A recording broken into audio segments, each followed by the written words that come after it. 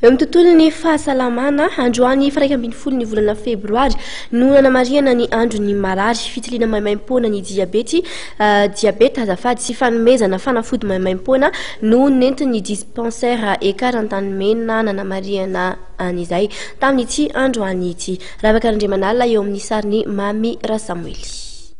Ny efapolo faingo roa amby efapolo isan-jato tamin'ireo olona miisa enina amby roapolo sy telonjato sy arivo nanaovana fitiliana maimaim-poana tamin'ny volana novambra roa ambin'ny folo sy roa arivo, teto anivon'ny dispensaire Ekar Antanimena no marary ny diabeta, ka amin'ireo olona diabetika ireo dia fito amby dimampolo faingo efatra isan-jato dia vehivavy avokoa ary roa amby efapolo faingo enina amby sivifolo isan-jato ny lehilahy.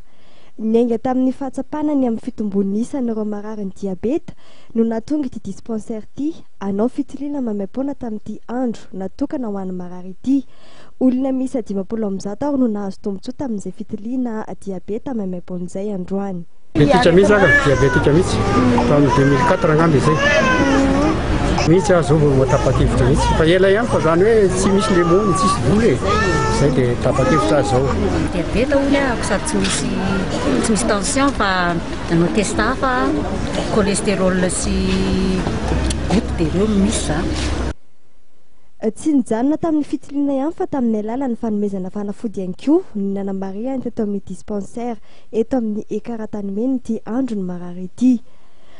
Amin'izao fotoana izao izay aho efa afaka manao misimisy kokoa, afaka manome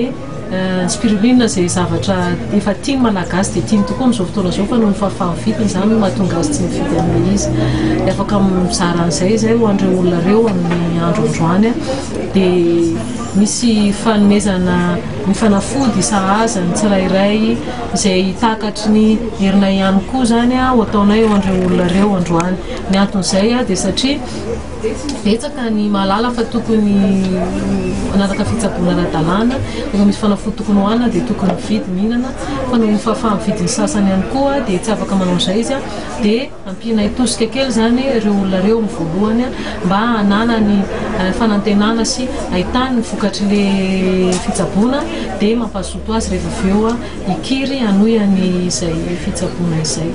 Marary manodidina ny dimy amby efapolo isan'andro no manatona eto anivon'ny Ecar Antanimena.